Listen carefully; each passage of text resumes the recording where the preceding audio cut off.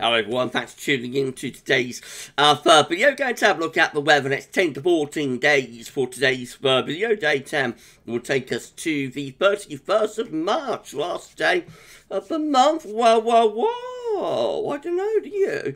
And, um, I'm so sorry, we'll be able to extend out beyond that with the extended GFS and ECM ensembles. Very much on a couple of weeks, we'll have a look at the CFSV2 at the end of the video for the next four weeks, which will get us into the second half of April. And I shall get on with that view in a moment. Just say that first video should was 6am upload. I've also released 10 14 day or two. No, haven't with released ECM, though you have 30 day forecast. Uh, I don't want to I'm really. Um, and uh, so check out those two vids if you'd like to do that. Like, share, subscribe on the vids. Thanks so very much, everybody. But then that. Now, we did a live stream uh, last night and it was absolutely unbelievable. Uh, crazy, crazy, crazy live stream. Uh, we picked up around 38 channel members, I think, on uh, the live stream last night. Um, through uh, very kind and generous people gifting uh, channel membership to um, Gasworth to Gasworthy's, you know, viewers. So thank you, thank you so much to all of the people who gifted um channel membership on last night's live stream. That is unbelievable. Thank you so much to all of you who uh, gifted membership and congratulations and welcome to all of those who you know picked up one month's uh, free Gasworthy's YouTube channel membership. It is unbelievable. Thank you so much. We have well, well, well, well, well over 100 channel members. Now, I think it must be getting on for about 130, 140 channel members. So it's absolutely crazy. It's probably more than that, maybe 150. I'll have to count count everybody up. Uh, you know, uh, this week probably. Um, but it is unbelievable. So thank you, thank you, thank you so much to all of you who uh, gifted a channel membership on last night's live stream, and congratulations to all of those who received um, one month's free Gasworthy's channel membership. It's crazy. Thank you so much. Well, an amazing, amazing live stream. We'll be live streaming again tomorrow at 6pm with our 10 to 14 day. So I shall see you all tomorrow uh, live, perhaps. Right, well, let's start off with searching temperature. The CET is currently sitting at 5.6, which is only 0.1 of a degree uh, below average now. So we're basically unraveled, being a very cold first 10 days of the month, in the second 10 days of the month, and uh, we're now more or less bang on average for to 10 days a month will therefore determine whether we come out with an average, above average, or below average March. I think we're going to come out above average now, to be honest, everyone. So against 61 to 1990, uh, it looks as though it will be a mild average month, which like 10 days ago would have seemed absolutely remarkable. So just going to show how warm the weather has turned over the past uh, 10 days or so. These are the GFS upper air temperature and precipitation ensembles for next couple of weeks on Cardiff today. The red line is a 30 year upper air temperature average for Cardiff starting off above average if your bread temperature at the moment. They are going to return closer to average through this uh, week, or second half of this week. Now, there's a little bit of a colder snap, a cooler interval, really, um, showing up there as we get into the weekend, just the very start of next week. It's only like a one or two day wonder. And then through next week, we're off and running into more mild weather. Actually, could turn very mild around the turn of the month. We see quite a push up in the upper air temperatures uh, that may be turning warm uh, right at the very end of March into opening days of April. That doesn't last long either, and the upper air temperatures may look like they're returning back close to average. What we can say is it looks very unsettled from start to finish with um, plenty of uh, rainfall spikes. So the Atlantic onslaught will go on, and uh, there will be further spells of rain to come. Temperature anomalies on the 21st of March the 29th coming out about average a little bit above down in the south. And precipitation anomalies on the 21st, 29th March are coming out wetter than normal, quite um, widely across the country actually. So, uh, you know, quite mild but also wet in the weekend. Good growing weather. Uh, right, so uh, this is Wheel Map from Earthnullschool.net. Shows you, show map once again we're bringing a mild push of southwesterly winds. Here we go again. And uh, there's a cold front through here as well, or weather system through there. Um, that will eventually be introduced. a little bit cooler to the north later tomorrow. And there's going to be more wet and windy weather on that front overnight tonight. Okay, let's start going for the chart data. So, ladies, you get your run. Looking at midnight on Friday, low pressure out to west, very unsettled. Further showers on spells. Rain that carries on into weekend two. Through weekend, that low pressure transfers eastwards, and we start to bring down something a bit colder further north. So there's that little cooler or colder interval over the weekend. That's midnight Monday, where we are into a northerly flow. And it's only very brief by um, time we get through to uh, midnight on Monday. Yeah, we got that chart. You haven't got the midnight. Okay, so we haven't got that. Right, so we stop there. Right, so this is uh, well as we can get to with the UK Met Euro um, to uh, midnight on Monday. We're into cold northerly wind. If we went on another 24 hours, you'd probably think this area of low pressure just here is going to start rolling in from rolling, rolling in from off the Atlantic, turning things uh, milder, wetter, and windier again. Icon again, low pressure's in control over the weekend, and it's going to be very unsettled. Therefore, by the end of the weekend, we will, we will be bringing something a little bit colder from the north as well. But it is a very, very brief amount slow rattling in from off the Atlantic through uh, Tuesday. That brings heavy rain, gale force winds across the country, and another push of mild temperatures as well. The GFS midnight run again looks really unsettled at the end of the week into the weekend. Low pressure pulling eastwards through weekend. Land is cooler to colder northerly wind to uh, develop, but only briefly and then low pressures back in from off the Atlantic with further wet and windy weather through the course of next week.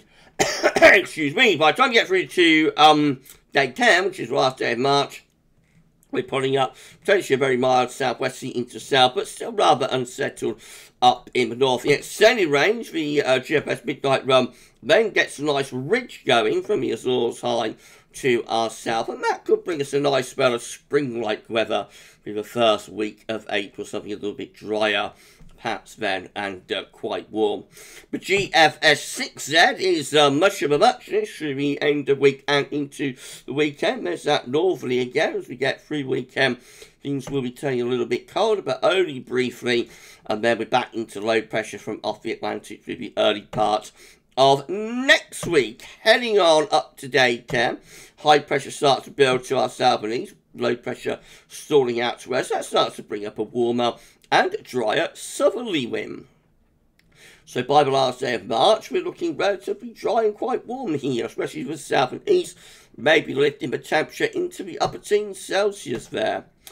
Uh, beyond that, we just go very unsettled again, below pressure, back in from off the Atlantic, so um, much more unsettled through the first week of April with the 6A compared to the midnight run. If you enjoyed the video, please you like, share, subscribe. Thank you so much everybody for doing that. Uh, drop a comment, let us know what you think about this and all of our videos. And thank you so very much everyone for doing this for Gareth's Weathers. We need to put on around 20 subscribers to get ourselves to 15.7k, so you could give us a sub. Tell your friends and family to subscribe. That'd be absolutely amazing. Thank you so much. GEM, again, with low pressure in control um, over the uh, weekend and into next week. By the end weekend, we're putting in something a little bit colder from the north as well, but only temporarily. We're back into wet and windy and mild weather by Tuesday. Um, another little northerly there on Wednesday. That brings down some colder air again, middle of next week, followed by another little transient ridge, and then by day 10, looks like we're starting to pull up something warm potentially and drier from the south with this area of high pressure over France. So um, a wild ride on the uh, GEM run, temperatures up and down on a day by day basis. And then the East Show do that again, we got low pressure rolling through from the Atlantic at the end of the week and into the weekend. That low pressure transfers will start pull down something colder from the north, so going to a northerly there through the weekend. That might bring some wintry showers into it all, maybe some cold nights as well. Um, keep that going a little bit longer compared to the other model out, but this is midnight on Tuesday, still within this transient ridge, which is a relatively cold ridge as well. So ECM actually uh, is the coldest of model output for the early part of next week. Um, and not really until we get through to the middle and second half next week, but we actually start to introduce those milder southerly southwesterly winds. So ECM a little bit more a, a, little bit more potent with that cold now at the weekend and into the of next week compared to the other model output. Missing precipitation forecast based on that ECM run from TibetShow.com. Plenty of rain piling in from the Atlantic tonight and also very windy with it too. Tomorrow and uh, on into uh, second half week, really stays sunshine and showers, with a spell of rain pushing into south and southeast. Some strong winds maybe there on Friday. More showers into weekend. As it starts to turn colder, these showers begin to turn more wintry. So turn to snow across Scotland, wintry showers through parts of England, Wales and Northern Ireland as well. There's even a little bit of snow there coming through Northern England into the Midlands there. Whoa, whoa, whoa. over the weekend. Um, I'm so sorry, everyone. And uh, we keep those wintry showers going through the weekend um, before wet weather tries to get in from off the Atlantic through the early part of next week, but is struggling to do so. So that's just a load of cold, a load of cold rain really through the early part of next week and not much of an increase in the temperature. It's when we get to here, which is the last day of March, it is turning genuinely milder then and uh, wetter and windier. These are the October table within the ECM ensembles today for day 10. It gets us to the 31st of March, and it's uh, from the Icelandic Met 26 members of the ECM ensembles with high pressure over France and Greenland. Uh, low pressure out west, jet stream windbreak, if you do something like that, brings drier and warm weather into South 14 with high pressure again towards Greenland, low pressure in, in uh, from off the Atlantic. Uh, my wet wind, I'm a little bit have you noticed? So after last night's live stream, I think. Uh, and 11, including the operational um, building high pressure to our south and east. So we're starting to bring up something warmer from the south. Goodness gracious. I mean, two time, these are the options that we've got. Gets us to the 5th of April. 15 members of the ECM on up very, very unsettled with deep low pressure over the north and west of Europe. 15 or another 15 with uh, low pressure to our north and a little bit more high pressure towards uh, France. So uh, just a little bit drier and warmer for the south, milder for south. 11 with low pressure again in from off the Atlantic there and uh, winds in from west. And then 10 have the low pressure away to the east um, with some higher pressure towards Greenland and out in the Atlantic. And that could be bringing down uh, rather chilly northerly actually. With that one, so that's turning a little bit cooler again, that option. Uh, they all look rather unsettled, though, don't they? That's one thing we can say. Let's go through the first week of April there. Um, mostly shaping up to be quite unsettled there. Service reaches finally, done. These are 500 millibar height anomalies broken down into week periods. The first week period takes from the 21st, 27th of March. The coming week is dominated by low pressure, so uh, obviously it is going to be a continuation of the onslaught into week two which is the 28th of March to the 3rd of April. Low pressure again coming in from off the Atlantic, so that looks quite unsettled as well. Week three is going to be the uh, 4th to the 10th of April with some low pressure to our east and to our west, high pressures towards Spain, and also blocking around. Wait for it, wait for it, wait for it, wait for it, wait for it, wait for it, wait for it, wait for it, wait for it. Slower!